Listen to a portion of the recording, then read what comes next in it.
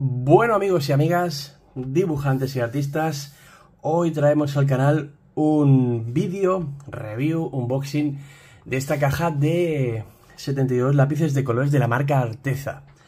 Hace tiempo que quería probar esta marca, ya tengo reviews en el canal y análisis de otras marcas, de otras marcas como por ejemplo los Castellars o los eh, Faber-Castell Polychromos, pero tenía pendiente esta marca Así que bueno, he decidido comprar esta caja de 72 unidades.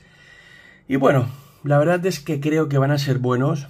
Ya de entrada, la fabricación de la caja, eh, todo lo que es el packaging parece bueno. Vamos a abrirlo, fijaos qué bonito que es, porque abrimos y bien.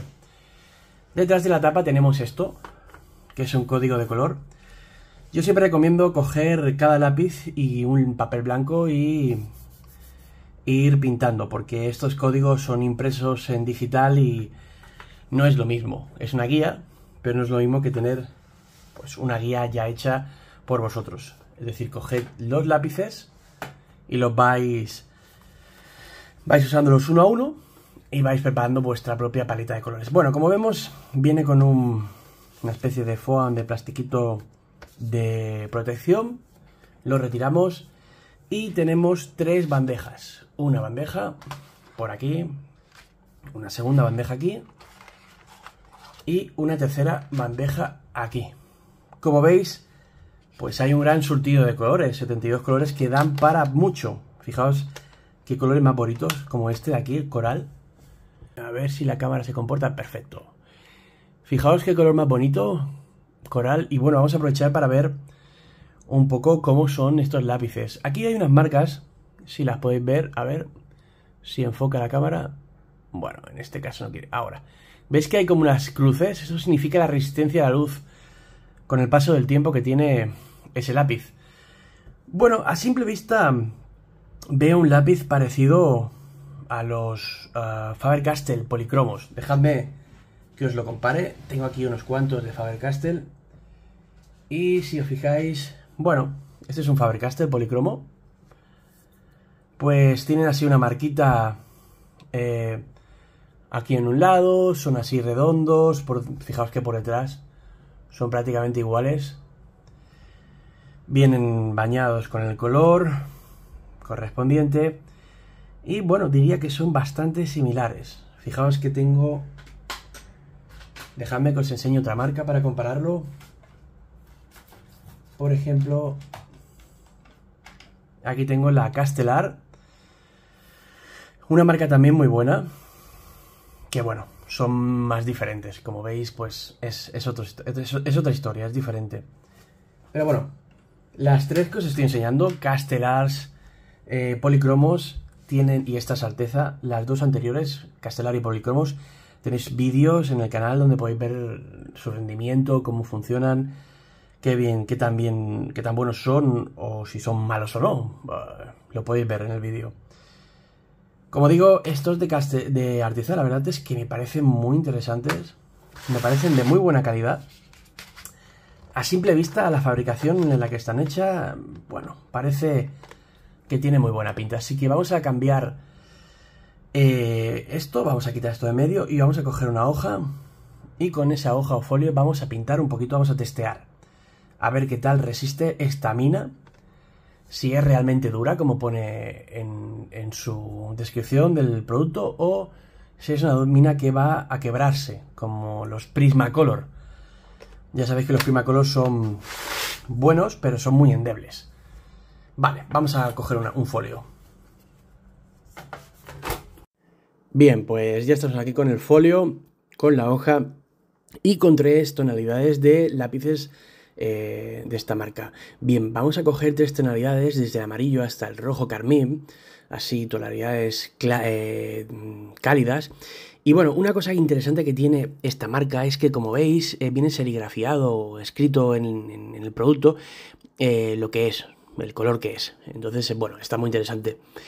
Bien, una cosa que siempre hago cuando hago vídeos de este estilo es testear de dos o tres cosas. Por ejemplo, la, dureza de la mina como digo, eh, la capacidad que tiene la mina de romperse o no a la hora de apretar y eh, la capacidad que tienen de fusionar entre ellos los colores. Me parece algo mm, súper importante tener en cuenta estos dos factores para determinar la calidad del producto. Y bueno, como veis, ha sido nada más empezar a pintar sobre la página, sobre la hoja, y he quedado alucinado porque estos lápices sueltan un pigmento brutal.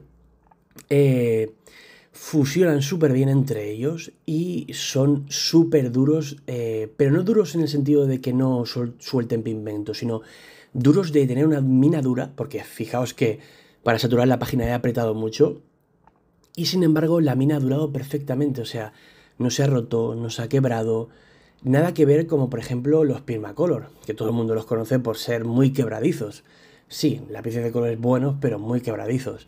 Y sobre todo si son los falsos. Si pilláis ya los falsos, no os digo nada.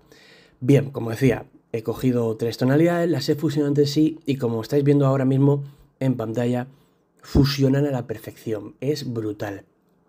Fusionan a la perfección, son súper fuertes, resistentes y eh, por suerte, pues eso, eh, tienen un pigmento muy muy intenso, muy bueno, de muy buena calidad que permite hacer trabajos brutales. De hecho, estoy deseando volver a traer más vídeos en, en los que, pruebe estos lápices junto con otros, como los de la marca Prismacolor o de la marca Faber-Castell o los de Castellar, que son los que tengo.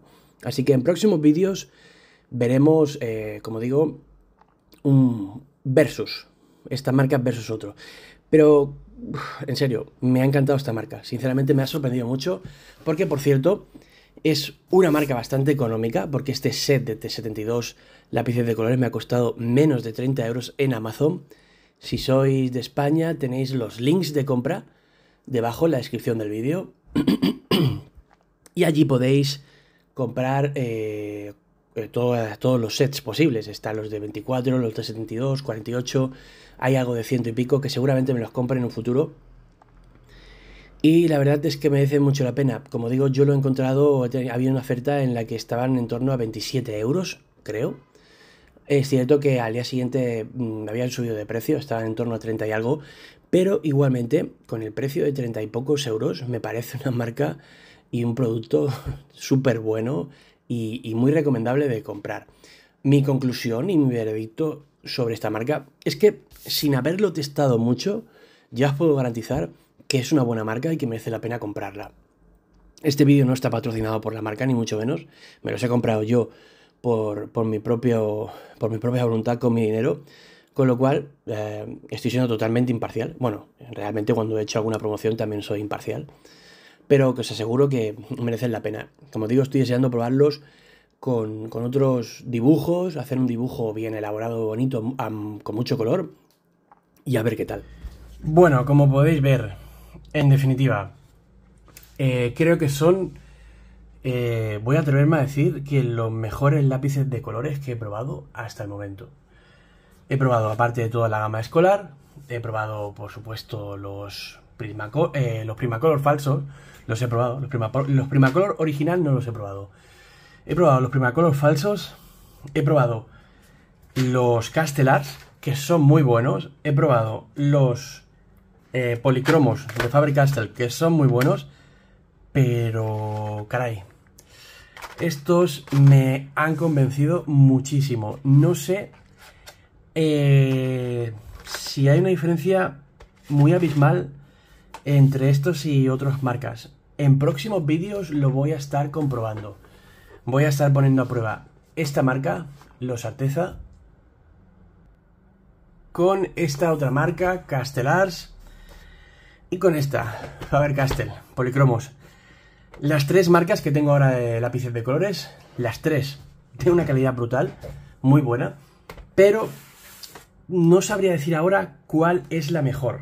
Creo creo que me voy a decantar por estos últimos, los Atezas. La verdad es que me han encantado, en serio. Estoy todavía muy sorprendido con la calidad que tienen. Así que, si queréis ver mi opinión en próximos vídeos de cuál es la mejor marca y los comparo, pues ya sabéis, seguidme, suscribiros, dadme un like y nos vemos en un próximo vídeo.